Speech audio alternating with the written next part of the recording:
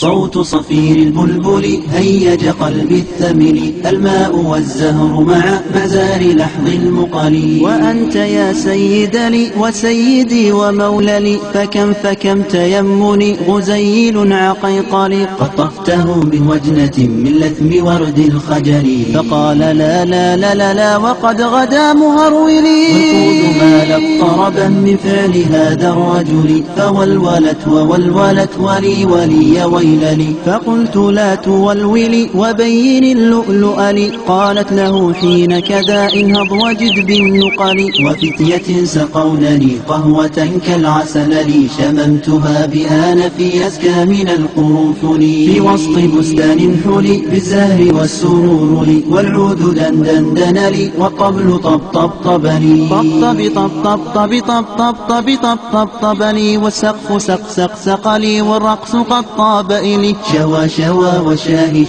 على ورقص فرجلي وغرد القمر يصيح ملال في ملالي ولو تراني راكبا على حمار أهزلي يمشي على ثلاثة كمشية العرنجل. والناس ترجم جملي في السوق بالقلقلل والكل كعكع كعكع خلفي ومن حويللي لكن مشيت هاربا من خشية العقنقر إلى لقاء ملك معظم مبجل يأمر لي بقلعة حمراء كالدمدمر أجر فيها ماشيا مبغددا للديل. أنا الأديب الألمعي من حي أرض الموصل نظمت قطعا زخرفت يعجز عنها الأدبل. أقول في مطلعها صوت صفير البلبل.